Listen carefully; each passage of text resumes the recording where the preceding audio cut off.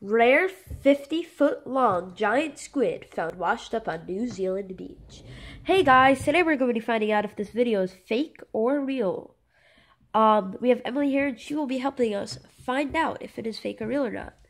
Here is Emily. Okay. So, so subscribe, like, or comment in the comment section if it's to tell us if it's real or fake. So yeah, let's get ready to watch the video.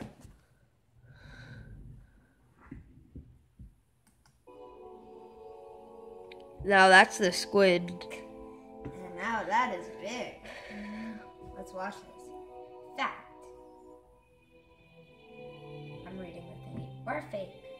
Hmm. you decide.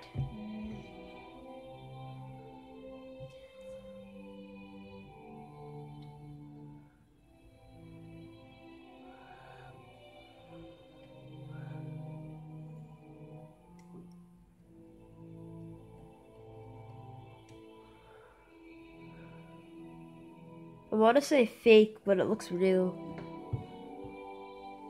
Yeah. I mean, there's a lot of people over there, so. Mm. Pause it. Okay. All right. So I think it's fake. What do you think, Emily? I think too.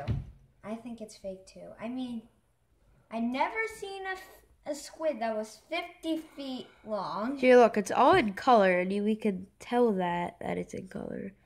And Um, I'm trying to there's kids over there. zoom it in. Like, there's kids playing. Wouldn't there be police? Like, Yeah. that kid splashing over there in that corner? It's hard to see. I know, but like, this is crazy. So, let us. sorry. Okay, let us know if you think it's real or fake in the comment section below. We will find out what if this is real or fake in our next video. So, uh, like and subscribe for the next one. Yeah, and if you want more, tell us what you want. All right, see ya. Bye, Bye. guys.